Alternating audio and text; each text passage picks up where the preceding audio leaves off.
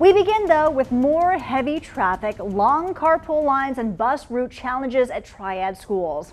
It's pretty common when classes start, but parents say this year is worse than normal. WFMY News 2's Jenna Kurzina met parents who say they waited in line for hours to pick up their children. She's live in Greensboro with an update.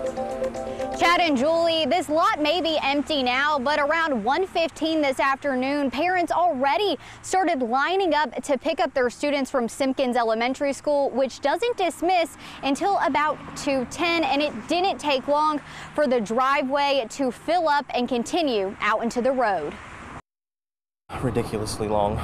Wait times is ridiculous. This year it is a bit of a shock. Parents of Guilford County school students say the pickup lines are much longer than in years past.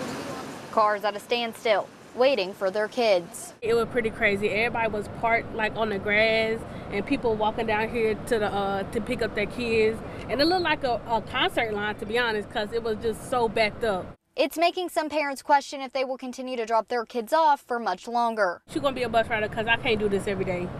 I can't do this. Guilford County Schools isn't the only district facing transportation issues.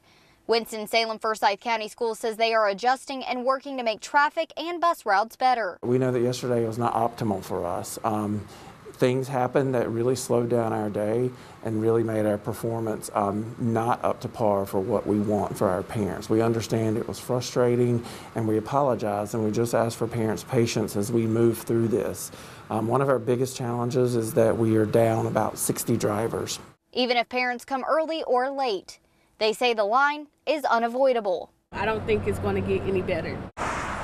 Superintendent of Guilford County Schools, Dr. Sharon Contreras, says they expected this, but they are asking parents to work with them and be patient as they try to make these lines move faster.